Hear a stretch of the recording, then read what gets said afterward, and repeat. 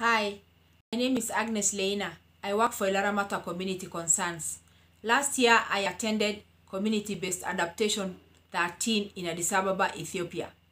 I met different community practitioners and learned so much.